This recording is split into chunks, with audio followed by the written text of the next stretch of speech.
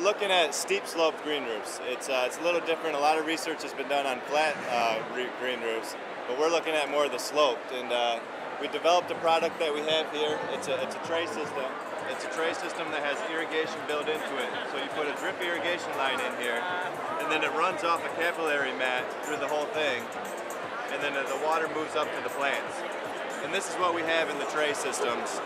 So on a display here. So basically the green roof system um, is installed in a modular fashion. Right here is three modules. The, the irrigation line runs up the side. This is the main line. And the, the, the lines run through the, the, the channel in the tray like we showed earlier. And it's a subsurface irrigation. Um, so it's, it's the most water efficient way to irrigate a green roof. Um, it's better than spray irrigation because on a roof uh, setting, the wind and the slope, it's, uh, spray irrigation isn't an effective way um, to irrigate. So we, design, we use subsurface irrigation for water efficiency. Phase two of our study to hopefully we can install it and we can see how it performs on the roof.